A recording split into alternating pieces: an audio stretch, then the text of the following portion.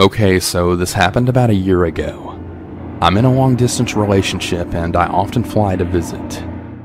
I didn't have a ride arranged to come and pick me up, so I usually just use Lyft or Uber to get to and from the airport. This particular ride started off fine. It was a guy from Haiti and he had a very thick accent that was often hard to understand. The beginning of the ride was just him making small talk like most drivers do.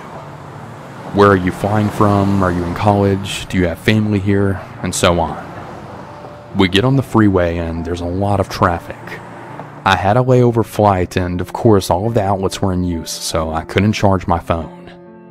I'm really hoping that this traffic lightens up soon because I really need to keep in contact with the people I'm going to be staying with. Of course, with my luck, the app crashes and then says, You have arrived, while we're literally in the middle of the freeway near no houses at all. I get kind of annoyed, and the driver says that he'll pull over at this Walmart that's nearby so we can try and figure out what's wrong.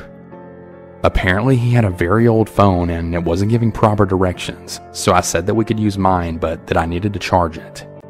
He asked me to sit up front so that it was easier, and I thought nothing of it, so I decided to go up front. He tells me that he'll take me the rest of the way for free without using the Lyft app. I put the address in my phone and we're back on our way.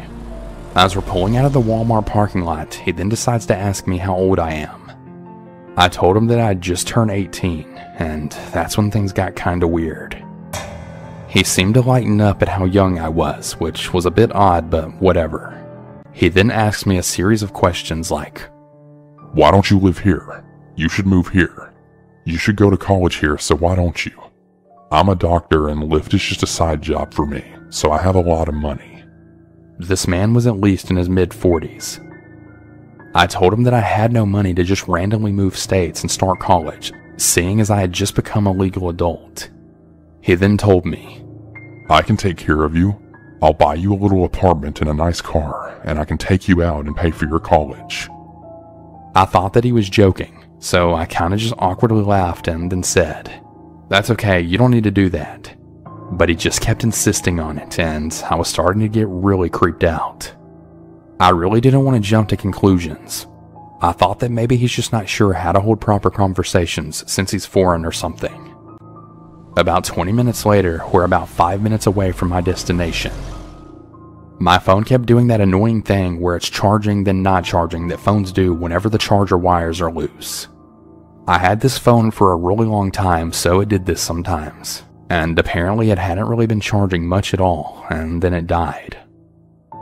Since we were so close to the destination, though, I told him that I knew the rest of the way, but I'd tell him to turn right and he'd say okay and then purposely turn left or keep going straight.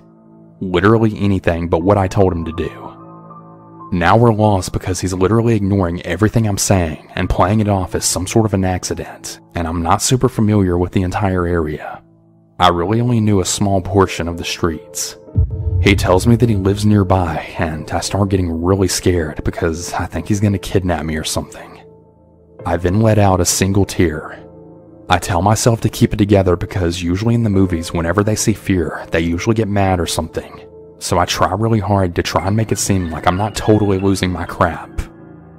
He finally turns back around, and when we're almost there again, he then starts purposely going the wrong way yet again. At this point, I got my phone to about 5%. He reaches over while at a red light, grabs my phone, and then he rates himself 5 stars on Lyft and also friends me on Facebook. He also puts his phone number in my phone and tells me to call him if I ever need anything and that we should go out sometime. I give a little fake smile so he doesn't know that I'm about to crap myself from all of the fear.